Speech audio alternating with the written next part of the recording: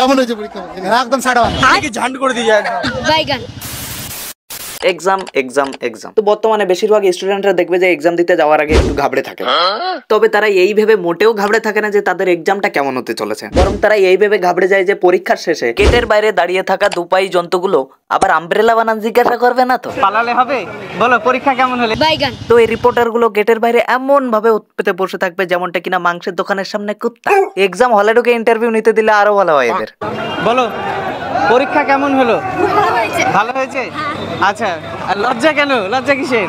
না মানে আপনি রিপোর্টিং করছেন নাকি ফ্লার্টিং এক তো সারা বছর বইয়ের পাতা উল্টে না দেখার জন্য প্রশ্ন দেখে সাথে সাথে অজ্ঞান। জ্ঞান ফিরতে ফিরতে দুই ঘণ্টা উনষাট মিনিট তিরিশ সেকেন্ডে নিজের নাম আর তিরিশ সেকেন্ডে খাতা জমা দিয়ে চলে যাদের মুখ দেখে বোঝার কায়দা নেই যে ওরা এক্সাম দিয়েছে নাকি এক্সাম ওদেরকে দিয়েছে। তার মাঝখানে আপনি মাইকের হ্যান্ডেল ওদের মুখের মধ্যে ভরে যদি জিজ্ঞাসা করতে থাকেন। কেমন হলো?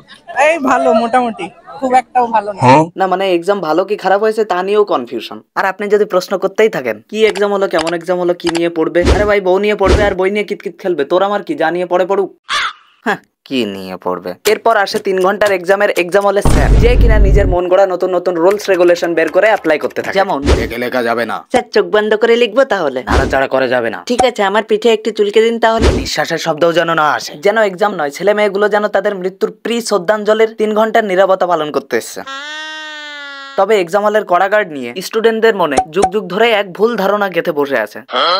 তারা ভাবে স্যার আজকে কড়াগার্ড দিয়েছে মানেই স্যার আজকে পাক্কা বাড়ির থেকে বউয়ের সাথে গন্ডগোল করাই এসছে। না ভাই দেখ স্যার কড়াগার্ড দিয়েছে মানেই যে স্যারের বউয়ের সাথে গন্ডগোল হয়েছে তা কিন্তু নয়। এমনও তো হতে পারে স্যার বউই অন্য কারোর সাথে রেখে গেছে।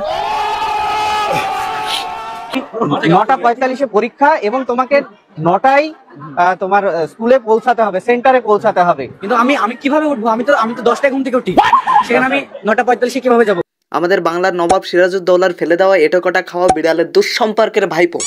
তোমার না হোমিওপ্যাথি ডোজের খুব দরকার। তার প্রত্যেক ডোজে সকাল বিকাল রাতে মায়ের খুন্তির ছাকা আর বাবার জামা হাতের দুইখানা করে চড়। তাহলে দেখবে চব্বিশ ঘন্টায় সুস্থ আর সকাল সাতটায় হাজির এক্সাম সেন্টার হট প্রশ্ন কিছু কমনই পাওয়া যাচ্ছে না। পৃথিবীর বাইরে থেকে প্রশ্ন এসছে। ও তাহলে এলিয়েন এসে প্রশ্ন করেছিল মনে হয়।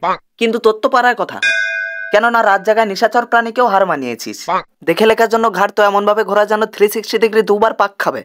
এরপর শীতকাল ভোর স্নান করিস না এদিকে গরমে জল হস্তি। এবার তুই ভেবে দেখ যে তুই আদৌ এই গ্রহের প্রাণী নাকি করেছিস এলিয়েনের সাথে দোস্তি।